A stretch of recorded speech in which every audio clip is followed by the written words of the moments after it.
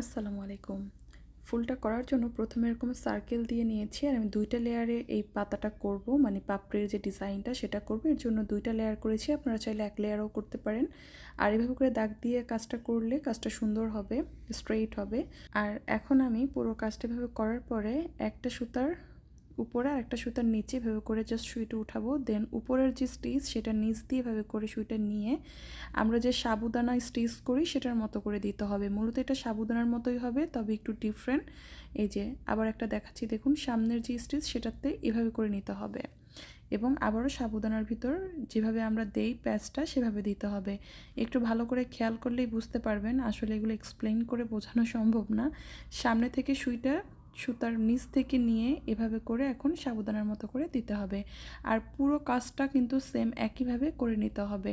আর উপরের লেয়ারটাও কিন্তু একইভাবে করতে হবে। এই লেয়ারটা যেরকম করছি, যেহেতু উপরের লেয়ারে আমি একটু বড় করে এঁকেছি, তাই আমি ওইখানে সুতাটা একটু মোটা করে নিব। এখানে নিচ্ছি তিন তার, আর উপরে যখন কাজটা করব তখন নিব চার তার। তাহলে আর কি কাজটা একটু মোটা মোটা হবে। যেহেতু বড় করে এঁকে ফেলেছি, আপনারা ছোট করে আঁকলে দুই তার তিন তার দিয়ে করলেই অ্যানাফ তো এভাবে করে এখন আমি সম্পূর্ণ জায়গাটা কিন্তু একই রকম স্টিচ দিব। এতে করে দেখতে অনেক সুন্দর একটা ফ্লাওয়ারের মতো লাগবে এবং এটা অনেকটা কুশি কাটার মতো লাগে দেখতে ফুলটা।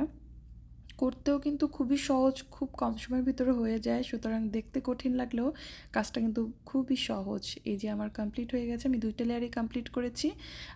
উপরের লেয়ারটা দেখাইনি অফ ক্যামেরাতে করে ফেলেছি। এখন আমি ফুলের মাঝখানে দিয়ে দিচ্ছি রেনু আর রেনু করার জন্য আমি এখানে ক্রিম কালার সুতা ব্যবহার করছি। ফ্রেঞ্চ নট দিয়ে নিচ্ছি। দুইটা সুতা নিয়ে শুয়ের ভিতরে দুই প্যাচ করে দিলেই কিন্তু এই ফ্রেঞ্চ নটটা হয়ে যায়। আর বাসন্তী হলুদের ভিতরে এই কালারগুলো কিন্তু বেশ সুন্দর লাগছিল। বেবি ড্রেসের ভিতরে এরকম করে ফুল করলে দেখতে অনেক সুন্দর লাগবে। চাইলে আরও বড়ও করতে পারেন, ছোটও করতে পারেন, যেরকম আঁকবেন সেভাবে করে এই কাজটা করবেন। তো কমপ্লিট হয়ে গেছে ফুলের কাজটা। এখন আমি পাতার ভিতর দিয়ে দিচ্ছি ফিশবন স্টিচ আর এখানে আমি সবুজ এবং টিয়ার দুই কালার মিক্সড করে কাজটা করব। আর পাতাটা আমি দুই সেট থেকে তিনটা তিনটা, ছয়টা দিয়েছি। আপনারা আপনাদের ডিজাইন অনুযায়ী পাতা করবেন বা কলি করতে পারেন।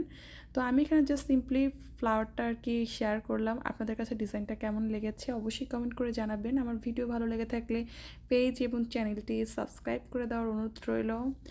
এই হলো সম্পূর্ণ কাজের আর কি লুকটা কেমন হয়েছে অবশ্যই কমেন্ট